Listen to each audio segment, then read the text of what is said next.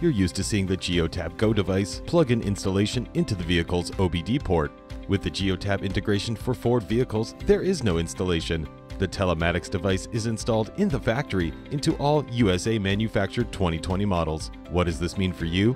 No installation, which means savings in time, money, and no hassles. What does this mean for your customers?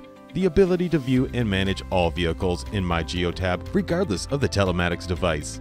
Integrated solutions for Ford vehicles, Go device, or other third-party devices. Sometimes, depending on the make, model, or year, our engineers may need to approach the data in different ways. A comparable experience in My GeoTab with the GeoTab integration solution for Ford vehicles is available in this release in regards to engine measurements, zones, time cards, speed profiles, the International Fuel Tax Agreement report, risk management capabilities, and rules engine. These are all available with third-party configuration.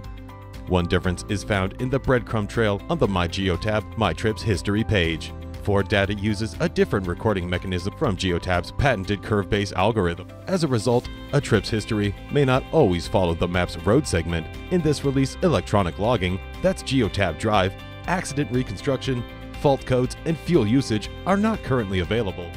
Contact GoFleet for more information.